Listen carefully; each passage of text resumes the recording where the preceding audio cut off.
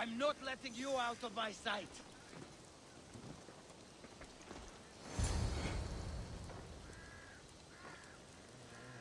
I won't be intimidated.